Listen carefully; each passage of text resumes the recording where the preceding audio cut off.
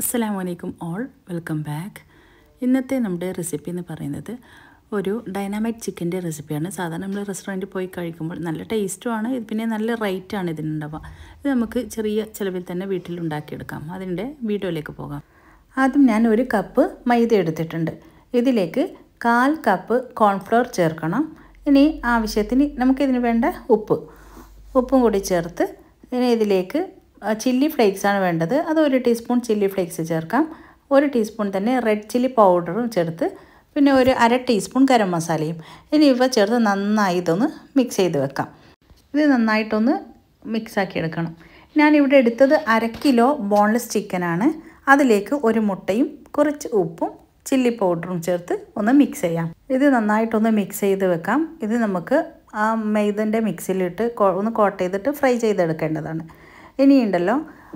ഇതിൽ നിന്ന് ഓരോ പീസായിട്ട് എടുത്ത് ഇതുപോലെ വീഡിയോയിൽ കാണുന്നത് പോലെ നമ്മുടെ മൈദ മിക്സിലേക്ക് ഒന്ന് ഇതുപോലെ ഒന്ന് ഇതുപോലെ നന്നായിട്ടൊന്ന് കോട്ട് ചെയ്തെടുക്കാം.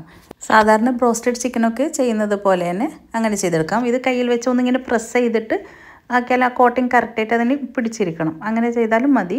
ഞാനിപ്പോൾ ഇത് വീഡിയോ ഒക്കെ ആയതുകൊണ്ട് ഇങ്ങനെ പുറക്ക് വെച്ച് ചെയ്യുന്നതേ ഉള്ളൂ. ഇനി ഇതുപോലെ ഓരോന്നും പിന്നെ ചെയ്തെടുത്ത് നമുക്കിത് നല്ല തിളച്ച എണ്ണയിലിട്ടിട്ട് ഒന്ന് ഫ്രൈ ചെയ്തെടുക്കണം. ചിക്കൻ പോപ്സ് ഒക്കെ ഉണ്ടാകാറില്ലേ? അതുപോലെ തന്നെ. അപ്പോൾ ഞാനിവിടെ ഫ്രൈ പാനിൽ എണ്ണ ഒഴിച്ചിട്ടുണ്ട്. അത് ചൂടായി. ഇപ്പോൾ ഇതുപോലെ ഓരോന്നിട്ട് നന്നായിട്ടൊന്ന് ഒരു മീഡിയം ഫ്ലെയിമിൽ നന്നായിട്ടൊന്ന് പൊരിച്ചെടുക്കണം. ഇപ്പോൾ പൊരിച്ചെടുത്തിട്ടുണ്ട്. ഇനി ഇത് നമുക്കൊരു പാത്രത്തിലേക്ക് മാറ്റാം. ഇനി നമുക്കിതിന് വേണ്ട ഒരു സോസ് തയ്യാറാക്കാനുണ്ട്. ഡൈനാമിക് സോസ് തയ്യാറാക്കണം. ഒരു കപ്പ് മയോണൈസ് എടുക്കണം. അത് നമുക്ക് ഷോപ്പിൽ നിന്ന് വാങ്ങിയതായാലും അല്ലെങ്കിൽ വീട്ടിൽ നിന്ന് ഉണ്ടാക്കിയതായാലും കുഴപ്പമില്ല.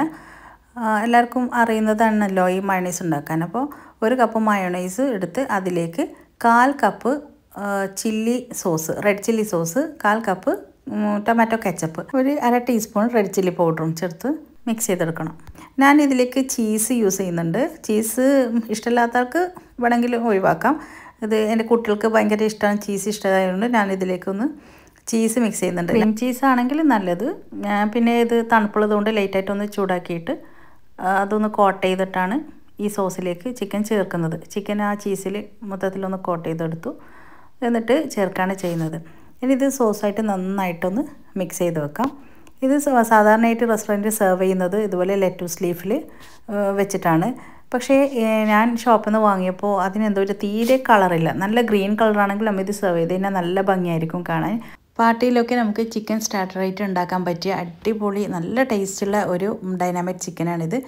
ഇത് ഉണ്ടാക്കി നോക്കി ഇതിന്റെ ഫീഡ്ബാക്ക് അറിയിക്കണം. നിങ്ങൾക്ക് വീഡിയോ ഇഷ്ടമായെങ്കിൽ ഷെയർ ചെയ്യാനും സബ്സ്ക്രൈബ് ചെയ്യാനും മറക്കരുത്. നല്ല റെസിപ്പി വീഡിയോയുമായി വീണ്ടും വരാം. ഇൻഷാല്ല അസ്സാം വലൈക്കും